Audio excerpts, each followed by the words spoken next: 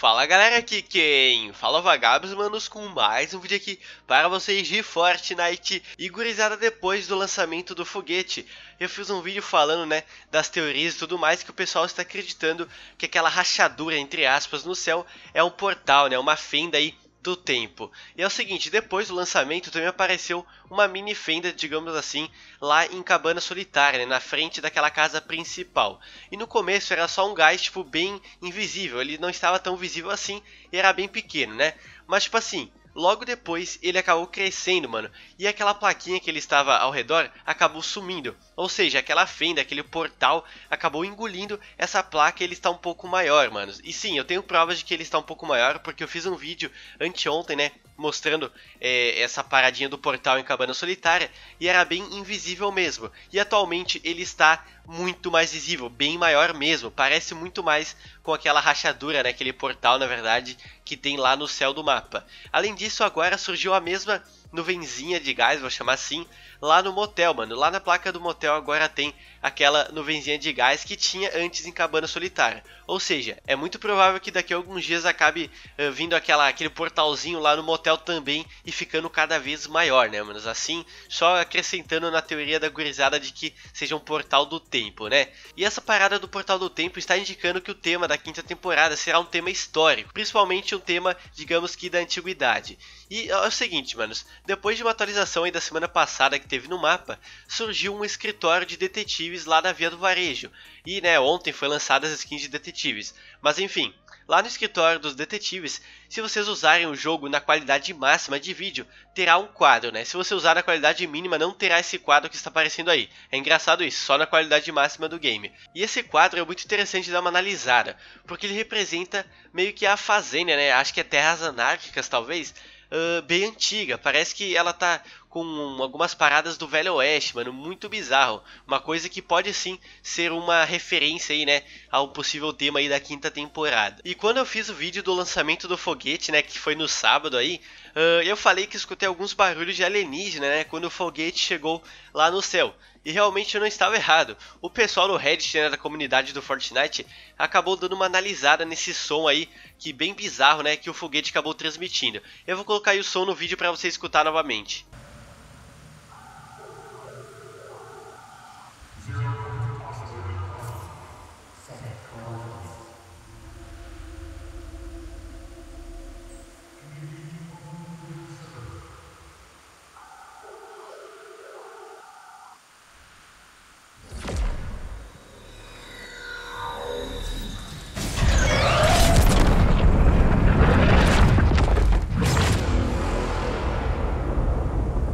Pessoal acabou dando uma analisada nesse áudio bizarro aí e que realmente não está numa boa qualidade, né, para ser escutado, mas eles entenderam o seguinte, que no começo algum alienígena, de certa forma, fala Zero Oscillator On, que traduzindo significa zero oscilador ligado. Logo depois, um outro alienígena fala o seguinte, Setting Coordinates, que seria definindo coordenadas. E a última frase realmente é muito difícil de ser escutada, o pessoal acabou colocando uns pontos de interrogação porque realmente ela ficou em muita má qualidade.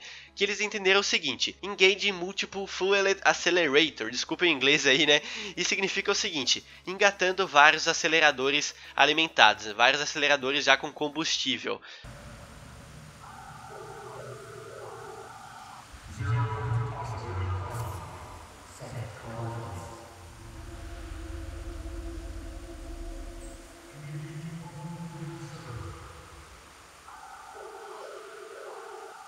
Mas bom, as duas primeiras frases realmente dá sim para ser escutadas, principalmente a segunda, que é setting coordinates, que seria definindo coordenadas. E logo depois, aquela nave, né, mostra aquela mira vermelha muito louca, mano, mirando aí para Torres Tortas, né, basicamente. Então digamos que esses alienígenas, entre aspas, porque não sabemos se são alienígenas ou viajantes do tempo ou o próprio visitante, né, que estava programando aí o foguete, mas o que sabemos é que realmente essas frases têm alguma coisa a ver com o que aconteceu com o foguete, obviamente, né?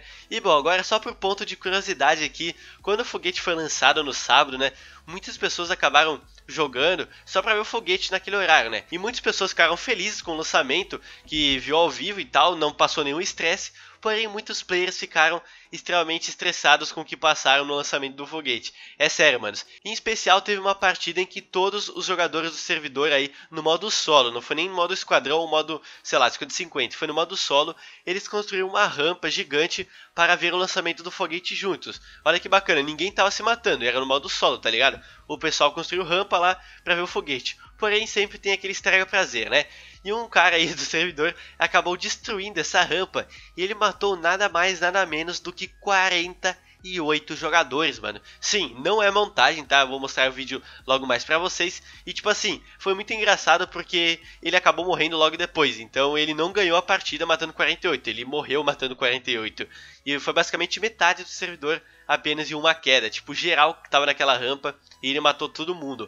Com essas 48 kills, usuário Elemental Underline Ray, ele acabou batendo o recorde mundial de kills no modo solo. Sim, manos, ele bateu o recorde mundial. E realmente olhando o perfil dele no Fortnite Tracker, tá lá, mano. Modo solo kills 48. Não é mentira, realmente não foi montagem.